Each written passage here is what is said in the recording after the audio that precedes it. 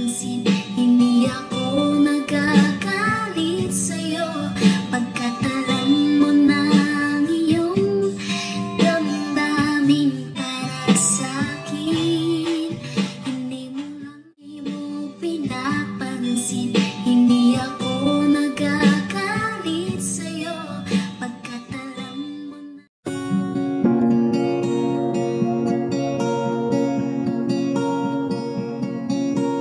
I gave up, I dug up a hole and hid away.